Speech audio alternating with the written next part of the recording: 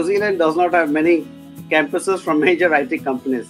Does this mean that New Zealand lacks IT job opportunities? They set up major campuses in countries where the labor is cheap and where they can hire thousands and thousands of uh, young engineering graduates at very, very low uh, pay rates. And that's the reason you will not have a big campus of global uh, IT companies in places like New Zealand or, or uh, you know, UK or places like that. You'll find it in India, you'll find it in Philippines, you'll find it in Malaysia, places where, you know, the labor is cheap. So that's the reason. Don't worry about the job opportunities in New Zealand.